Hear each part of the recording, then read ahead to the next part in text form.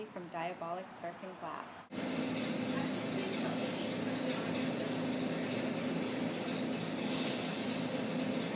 We have handmade glass art. My husband Christopher Upp and myself make it. We have uh, custom shaped boards that Chris also does, and we feature jewelry that is made on the island.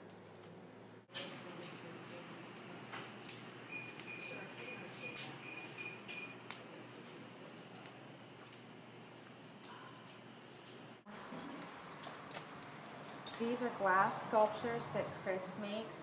The nautilus, the octopus, a hermit crab, and a seahorse. We also do lots of jewelry, jellyfish.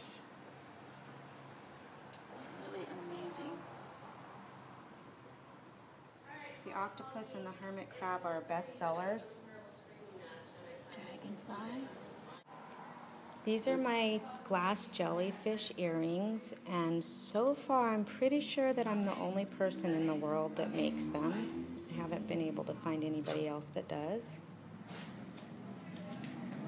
I have jellyfish pendants, and I do earrings as well, dragonfly pendants, rings.